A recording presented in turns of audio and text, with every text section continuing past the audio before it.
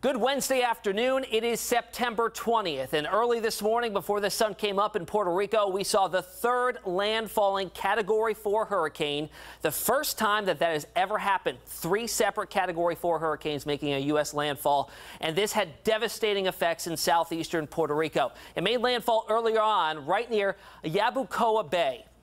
We saw some gusts there of 130 miles per hour. The only good thing that kind of deterred this storm from strengthening further was it moved over the southeastern part of Puerto Rico, very mountainous, high terrain there.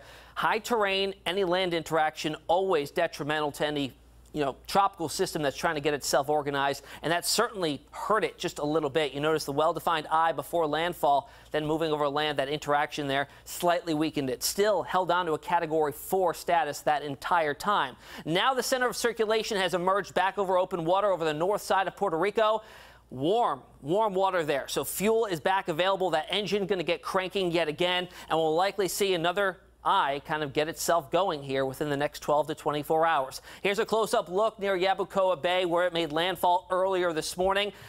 We had lots of observation sites up that gave us some wind, surface wind speeds here, upwards of 110, 115. Within that, we saw some other reports of 130. But notice, one by one, each reporting station was knocked offline. They briefly report calm winds, which obviously wasn't happening during a Category 4 hurricane, and then just nothing.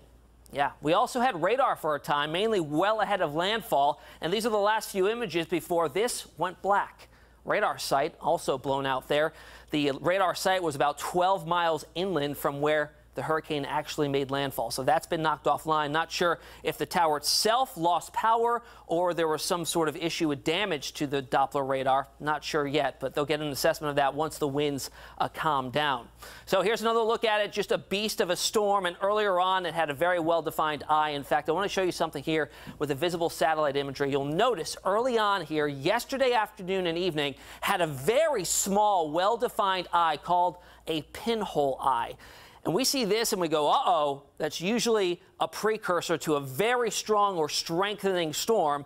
And that was evident, proven here with a Hurricane Hunter aircraft that went into the storm quickly thereafter and found the central pressure of 906 millibars. That surpassed the strength of Irma in terms of the central pressure. Obviously, the winds were a little bit stronger with Irma, but this a deeper storm. Irma only dropped to 914 millibars. To give you some bearing, the lowest pressure on record in the Atlantic was Wilma.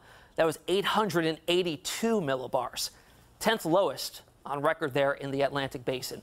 All right, here's the latest numbers on it as of the advisory earlier this morning. 140 mile per hour winds. When it made landfall, winds were sustained around 160 or so. So it did lose a little bit of that steam, still seeing gusts upwards of that. Now back over open water, and it's expected to maintain itself as a Category 4 for the next several days, a major hurricane, even before it gets downgraded to a Category 3 by early in the morning on Sunday. Still a major hurricane before it moves into slightly cooler waters and also has some sort of an influence and its steering with Jose. Yeah, that's still out there too. All right, let's talk about what's going on with terms of this cone of uncertainty. You've heard us talk about this time and again with each storm that comes on through uh, the Atlantic. Well, the cone of uncertainty basically encompasses the track, the center of the storm system. A lot of these storms, four, five, six hundred miles in diameter. So even though the center of it may stay within that forecast cone, the outermost bands could certainly make it close to the eastern seaboard. It could track along that westernmost fringe of the cone, or it could do the opposite, track along the farthest eastern, or go right down the middle there. Hurricane Center says it stays within that cone about two thirds of the time. All right, what are the models doing with this? A lot of these, very good consensus. We'll start with the GFS ensemble. This is one model run 20 separate times with different initializations, so different settings, different wind speeds, that sort of deal to give some sort of an outcome. Very good consensus here, only a deviation of maybe 50 to 100 miles in either direction. That's good for that far out in the forecast period. Why? Well, something happens here called atmospheric memory where Jose, which made a very similar path, kind of opened up a weakness in the upper level wind patterns that steer these storms.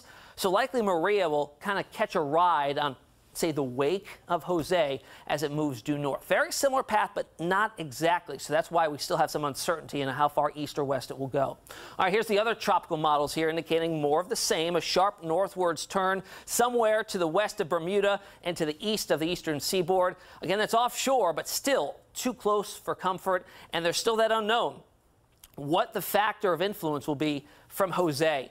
Longest lived named storm in the Atlantic. Still a named tropical storm, Jose, 14 days now, going on 15 days. Surpassed Irma as the longest lived named storm of the year.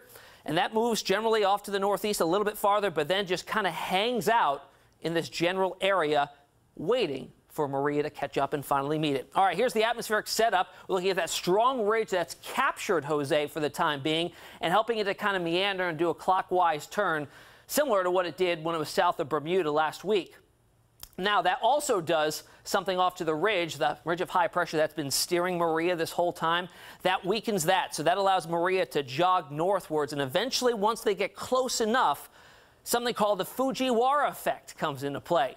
Take note of that. You're probably going to be hearing that headline time and again as we get closer to the early part of next week. This is something that's extremely rare especially in the Atlantic basin, but it's come up a time or two, and it certainly may as we go into Tuesday and Wednesday of next week off the eastern seaboard somewhere. So by that point, Jose will be likely a low grade tropical storm or maybe just a remnant low. All you need is that low pressure circulation there for the interaction. Maria, obviously the dominant of the two, still likely a hurricane at that time.